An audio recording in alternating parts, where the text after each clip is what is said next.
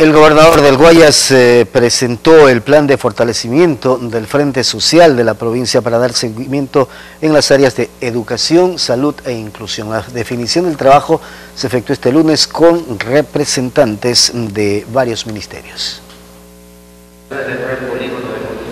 En la coordinación de acciones apunta a llegar a los sectores más vulnerables de la provincia del Guayas, como las áreas de salud, educación e inclusión. El gobernador Luis Monge señaló que este encuentro fue para definir estrategias de trabajo para la atención a los ciudadanos. Queremos dar a conocer a Guayaquil y a Guayas que este Frente Social y la gente y todas las carteras de Estado tienen que ver con la seguridad ciudadana, estamos atentos, prestos para dar servicio y además estamos listos y prestos ante el, invierno que se, está viviendo.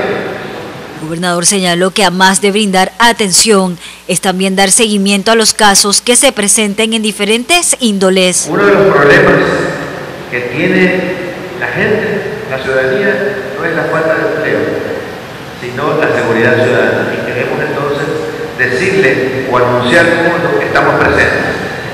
El seguimiento a través de la policía, de las entidades correspondientes, pero queremos dar anuncio del tema.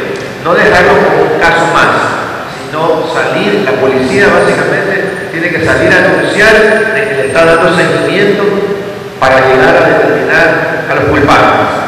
En la reunión estuvieron los representantes que conforman el Frente Social. Gilena Perlaza, Telerama Noticias.